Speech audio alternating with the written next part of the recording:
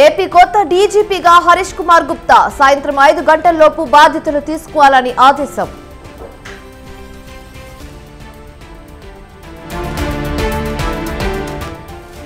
Anantapuram DIG అమ్మిరెడ్డిపై EC వేటు వెంటనే విధుల నుంచి రివీల్ కావాలని ఆదేశం.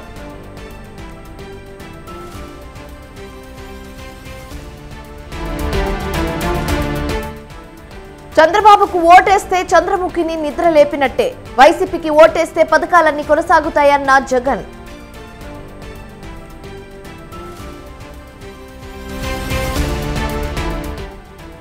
జగన్ నాటకాలను ప్రజలు నమ్మే పరిస్థితిలో లేరు. అబద్ధాలు చెప్పి ఇంకెన్ని రోజులు మోసం చేస్తారన్న బాబు.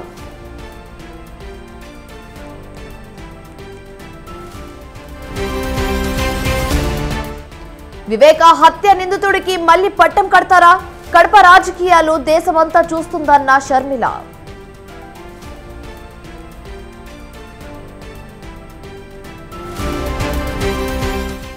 మేం చెప్పింది తప్పని నిరూపిస్తే రాజీనామాకు సిద్ధం. రేవంత్ సర్కార్ పై కేటీఆర్ ఫైర్.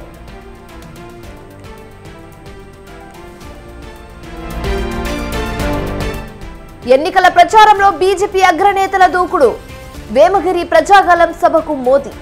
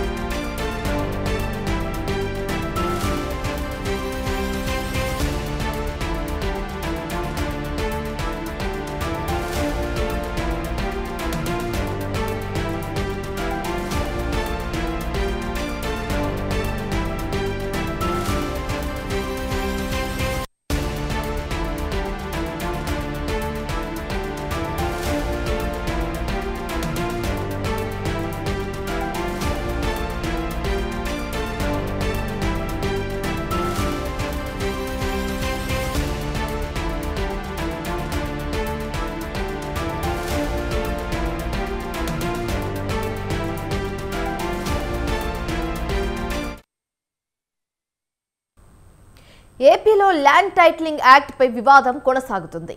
ఎన్నికలు సమీపిస్తున్న వేళ ఈ యాక్ట్ను ప్రచార అస్త్రంగా వాడుకుంటున్నాయి అధికార ప్రతిపక్ష పార్టీలు. ప్రజల భూములను పరిరక్షించేందుకు తీసుకొచ్చిన యాక్ట్పై టీడీపీ దుష్ప్రచారం చేస్తుందని వైసీపీ ఆరోపిస్తుంటే లేదు భూములను దోచుకోవడానికే జగన్ ప్రభుత్వం కుట్ర చేస్తుందని టీడీపీ ఆరోపణలు చేస్తుంది. ఈ క్రమంలో టీడీపీ అధినేత చంద్రబాబు నారా లోకేష్ పై కేసులు కూడా నమోదయ్యాయి. తాజాగా ల్యాండ్ టైటిలింగ్ యాక్ట్ వల్ల తాను కూడా ఇబ్బందులు పడ్డానని రిటైర్డ్ ఐఏఎస్ అధికారి పివి రమేష్ ఎక్స్ వేదికగా పోస్టు చేయడం మరింత వివాదాస్పదమైంది. దీనిపై వైసీపీ నేతలు మూకుమ్మడిగా దాడికి దిగారు.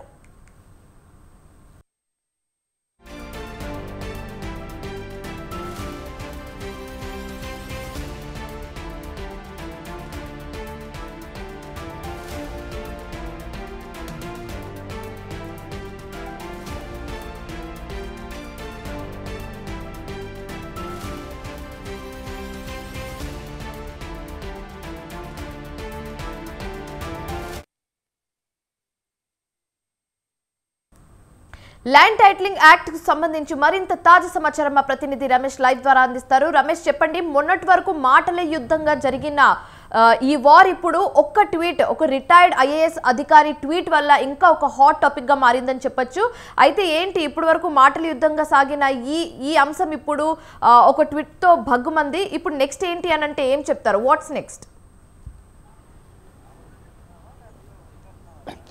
ఏపీలో ల్యాండ్ టైటిలింగ్ యాక్ట్కి సంబంధించి ఇప్పటి వరకు అధికార వైఎస్ఆర్ కాంగ్రెస్ పార్టీ ప్రతిపక్ష టీడీపీ నేతల మధ్య మాటల యుద్ధం కొనసాగుతోంది. ఇది ఇలా ఉంటే తాజాగా ఈ ల్యాండ్ టైటిల్ టైటిలింగ్ యాక్ట్కి సంబంధించి మాజీ ఐఏఎస్ అధికారి పివి రమేష్ కూడా ఈరోజు ఒక ట్వీట్ చేయడం జరిగింది. ల్యాండ్ టైటిలింగ్ యాక్ట్ వల్ల తాను మొదటి బాధితుడినంటూ ఆయన చేసినటువంటి కామెంట్ ఏదైతే ఉందో ఇది కొంత చర్చనీయాంశంగా మారింది. ఆయన కామెంట్కి సంబంధించి వైఎస్ఆర్ కాంగ్రెస్ పార్టీ వర్గాలు కూడా వివరించే ప్రయత్నం చేస్తూ ఉన్నాయి. ఇక పివి రమేష్ కామెంట్స్తో పాటు అసలు ల్యాండ్ టైటిలింగ్ యాక్ట్కి సంబంధించి జరుగుతున్నటువంటి వివాదం పైన మనతో మాట్లాడటానికి YSR Congress party legal cell అధ్యక్షులు మనోహర్ రెడ్డి గారు ఉన్నారు. సార్ ఈరోజు ఉదయం పివి రమేష్ గారు ట్వీట్ చేశారు. ఈ ల్యాండ్ టైటిలింగ్ యాక్ట్ వల్ల తాను మొదటి బాధితుడని కూడా చెప్పారు. అతను మీ ప్రభుత్వంలో కొంత కీలక అధికారికి కూడా గతంలో పనిచేశారు. అలాంటి వ్యక్తి కూడా ఇప్పుడు ఈ ల్యాండ్ టైటిలింగ్ యాక్ట్ వల్ల నష్టం జరుగుతుందని కామెంట్ చేస్తారు తానే మొదటి బాధ్యత అన్నారు. ఎట్లా చూస్తారు ఆయన కామెంట్స్ ఇందులో ఎంతవరకు వస్తుంది తను ముప్పై ఆరు సంవత్సరాలు ఐఏఎస్ ఆఫీసర్గా ప్రిన్సిపల్ సెక్రటరీగా ఈ ప్రభుత్వంలో కూడా పనిచేశాడు. అయితే ఆయన ఆయన ఆరోపణలు అనేది చాలా హాస్యాస్పదంగా ఉన్నాయి. ఎలాంటి తెలుగుదేశానికి మంచి చేయాలనే ఉద్దేశంతో ఈ ప్రభుత్వానికి వ్యతిరేకంగా ఏదో ఒకటి ల్యాండ్ టైట్లింగ్ యాక్ట్ను ముందుకు తీసుకొచ్చి ఈరోజు తెలుగుదేశం పార్టీ ఎట్లయితే అమలుగాని చట్టం పైన దేశమంతా రాష్ట్రమంతా విస్తృతంగా ప్రజల్లో భయోత్పాతాన్ని సృష్టిస్తుందో దాంట్లో ఈయన కూడా ఒక పావుగా దలుచుకున్నాడు అందుకనే అలాంటి ట్వీట్ చేశాడు. యాక్చువల్గా ఈ ల్యాండ్ టైట్లింగ్ యాక్ట్కు ఆయన మ్యూటేషన్కు సంబంధం లేని వ్యవహారం. ల్యాండ్ టైట్లింగ్ యాక్ట్ ఇంకా అమల్లోకి రాలే. తర్వాత section four of AP land titling act ప్రకారము భూ సర్వే కంప్లీట్ అయిన తర్వాత ప్రాంతాల వారీగా అది గెజెట్ నోటిఫికేషన్ ఇచ్చి ల్యాండ్ టైటిలింగ్ ఆఫీసర్ని అపాయింట్ చేస్తారు. ఇంతవరకు అలాంటి గెజెట్ నోటిఫికేషన్ కూడా మేము రిలీజ్ చేయలేదు. ఇది పూర్తి దుర్మార్గమైన చర్య. ఆయన ఇది తెలుగుదేశం పార్టీకి ఉపయోగపడడానికి మాత్రమే ఇట్లాంటి ట్వీట్ చేశారు. ఆ ట్వీట్ వల్ల ప్రజల్లో ఊరికనే భయాందోళన సృష్టించేదానికి ఇవన్నీ కూడా ప్రయత్నం చేస్తూ ఉన్నారు అంటే అతను ట్వీట్ చేయటం వల్ల ప్రజల్లో ఎందుకు భయాందోళన కలుగుతాయి? దానివల్ల తెలుగుదేశం పార్టీకి ఏంటి లాభం? తెలుగుదేశం పార్టీకి మేలు చేయడం వల్ల పివి రమేష్కి వచ్చేటువంటి ప్రయోజనం ఏముంటుంది?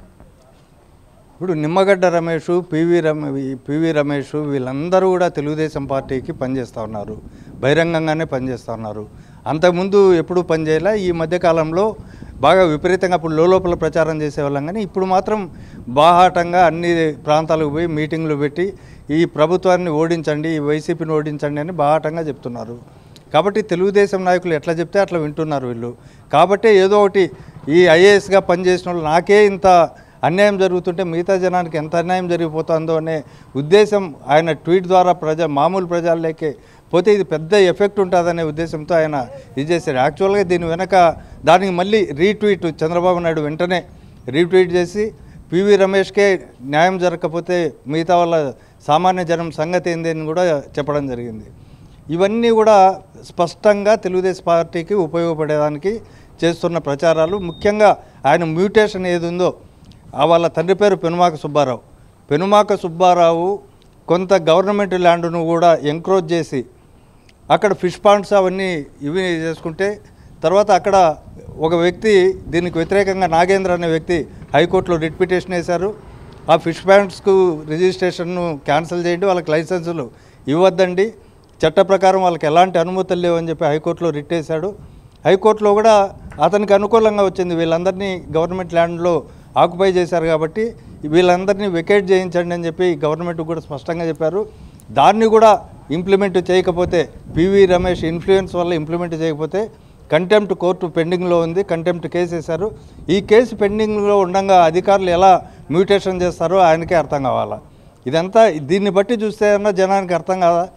ఆయన స్వప్రయోజనాల కోసం ఆయన ల్యాండ్ ఏదో కోర్టు వివాదాల్లో ఉంటే దాన్ని పరిష్కారం చేయలేదని దాన్ని వాళ్ళ తండ్రి పేరు నుంచి తనకి మ్యూటేషన్ చేయలేదని దీన్ని అడ్డం పెట్టుకుని ల్యాండ్ టైటిలింగ్ యాక్ట్ వల్ల నాకు ఇంట్లో అన్యాయం జరిగిందని చెప్పడం. అనేది చాలా దు- దుస్సాహసం ఇది చాలా పనికిమాలిన చర్య అని మేము భావిస్తున్నాం. Okay sir. ఇది మొత్తంగా ల్యాండ్ టైటిలింగ్ యాక్ట్కి సంబంధించి పివి రమేష్ చేసినటువంటి ఆరోపణలు ఏవైతే ఉన్నాయో ఇవి ఖచ్చితంగా తెలుగుదేశం పార్టీకి మేలు చేయాలనే ఉద్దేశంతోనే చేసిన అంశాన్ని వైఎస్ఆర్ కాంగ్రెస్ పార్టీ నేతలు చెప్తున్నటువంటి పరిస్థితి ఉంది. Right thanks for the updates Ramesh పిఠాపురంలో ఎన్నికల ప్రచారం జోరుగా సాగుతుంది. ప్రధానంగా జనసేన అభ్యర్థి పవన్ కళ్యాణ్ వైసీపీ అభ్యర్థి వంగా గీత ప్రచారం పీక్స్కి చేరింది. ప్రచారానికి కొద్ది సమయమే మిగిలి ఉండడంతో ఉన్న ఏ అవకాశాన్ని వదలడం లేదు. ప్రజల ముందుకు వెళ్ళి ఓట్లు అభ్యర్థిస్తున్నారు. అయితే ఈసారి ఎలాగైనా అసెంబ్లీకి వెళ్ళాలన్న పట్టుదలతో ఉన్న పవన్ కళ్యాణ్ను గెలిపించేందుకు మెగా ఫ్యామిలీ అంతా రంగంలోకి దిగింది. అలాగే పిఠాపురం నుంచి ప్రత్యర్థులను చిత్తు చేసి వైసీపీ జెండా ఎగురవేయాలని పార్టీ అధ్యక్షుడు జగన్ సీనియర్ నాయకులకు ఆ బాధ్యతను అప్పగించారు.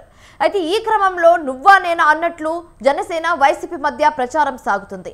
కవ్వింపు చర్యలు ఉధృతత ఘటనలు చోటు చేసుకుంటున్నాయి. ఇక ఇదే అంశానికి సంబంధించి మరింత తాజా సమాచారం మా ప్రతినిధి నవీన్ రాజ్ లైవ్ ద్వారా అందిస్తారు. నవీన్ రాజ్ చెప్పండి ఎలాగైనా ఈసారి ఎన్నికలు గెలిచి అసెంబ్లీలో కూర్చోవాలని జనసేన పార్టీ అధినేత పవన్ కళ్యాణ్ భావిస్తుంటే ఎలాగైనా ఇంకోవైపు ఎలాగైనా వైసీపీ వైసీపీ జెండా ఎగురవేయాలని గీతవంగా ప్రయత్నిస్తుంది గట్టిగా ప్రయత్నిస్తున్నారని చెప్పొచ్చు. అయితే వీళ్ళిద్దరి మధ్య ఇప్పుడు మాటల యుద్ధం దాటేసి ఇప్పుడు దాడులు కూడా- దాడులు కూడా జరుగుతున్నాయి. అయితే దీన్ని మనం రాజకీయ పరంగా ఎలా చూడొచ్చు నవీన్ రాజ్? రాష్ట్ర వ్యాప్తంగా చూస్తే పిఠాపురం నియోజకవర్గం అయితే హాట్ టాపిక్గా మారిందని చెప్పొచ్చు. ఇక్కడ రాష్ట్ర వ్యాప్తంగా నూట డెబ్బై ఐదు నియోజకవర్గాలు ఒక ఎత్తు అయితే పిఠాపురం నియోజకవర్గం అయితే ఒక ఎత్తుగా అయితే మారిన పరిస్థితి ఉంది. ప్రధానంగా ఇక్కడ పవన్ కళ్యాణ్ అయితే జనసేన అధినేత పవన్ కళ్యాణ్ ఇక్కడ నుంచి పోటీ చేయడంతో ఒక్కసారిగా పిఠాపురం అయిపోతే అందరి దృష్టి కూడా మరిన పరిస్థితి ఉంది.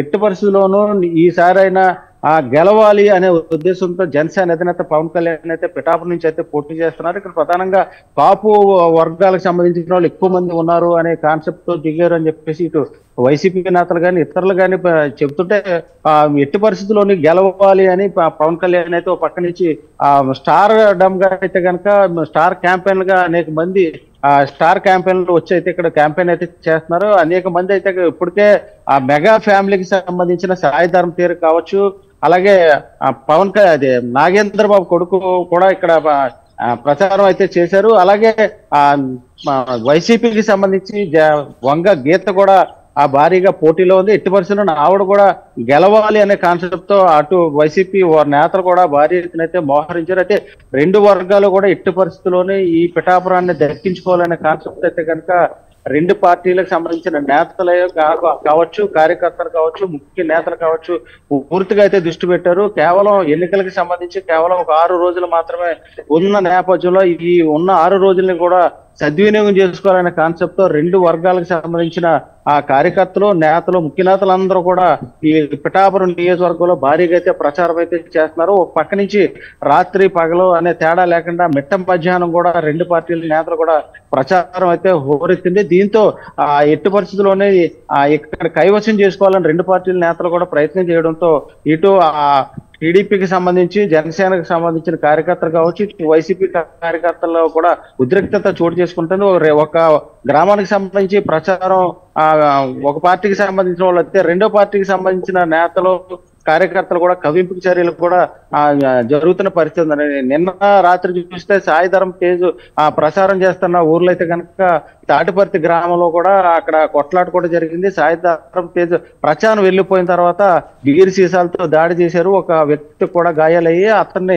వెంటనే ఆసుపత్రికి కూడా తరలించిన పరిస్థితి అదేవిధంగా వైసీపీ అభ్యర్థి వంగ గీత కూడా అక్కడ విరవ అనే గ్రామంలో ప్రచారం చేస్తుంటే ఇక్కడ టీడీపీకి సంబంధించి అలాగే జనసేనకు సంబంధించి కార్యకర్తలు అందరూ కూడా అక్కడ అడ్డు అడ్డుగా నిలబడి ఆమెకి ప్రచారానికి అడ్డుగా నిలబడడంతో ఆ వంగ గీత అయితే సమయం పాటించి ఎట్టి పరిస్థితుల్లోనూ గొడవలు వద్దు అని చెప్పేసి ఆ ఎవరైతే జెండాలో ఆ ఊపుతూ కేకలు వేసి అరుపులు వేస్తున్న టీడీపీ జనసేన కార్యకర్తలకైతే వారిస్తూ గొడవలు వద్దని చెప్పడంతో పాటు ప్రచారాన్ని ముందుకెళ్ళాలని చెప్పేసి వైసీపీకి సంబంధించిన నేతలకి కార్యకర్తలకు కూడా చెప్తూ వారికి అభివాదం చేసుకుంటూ కూడా వంగ గీత అయితే ప్రచారం అయితే కొనసాగించి ఏదేమైనప్పటికీ రెండు పార్టీలకు సంబంధించిన నేతలు కానీ కార్యకర్తలు కానీ ఆ ఈ ఎట్టి పరిస్థితుల్లోని ఈ పిఠాపురాన్ని కైవసం చేసుకోవాలనే కాన్సెప్ట్ అయితే కనుక ముందుకెళ్తున్నారు ఒక పక్క నుంచి జగన్మోహన్ రెడ్డి అయితే వైసీపీకి సంబంధించిన ముఖ్య నేతలందరూ కూడా పిఠాపురం వైపు చూస్తూ అక్కడ ఎట్టి పరిస్థితుల్లోని వంగ తప్పకుండా గీత గెలవాలని అయితే జగన్మోహన్ రెడ్డి ప్రయత్నం చేస్తుంటే ఇటు పవన్ కళ్యాణ్ కూడా నెగ్గాలని చెప్పి మెగా ఫ్యామిలీ పూర్తి స్థాయిలో అయితే ప్రచారం చేస్తున్న పరిస్థితి ఉంది. Right thank you Naveen Raj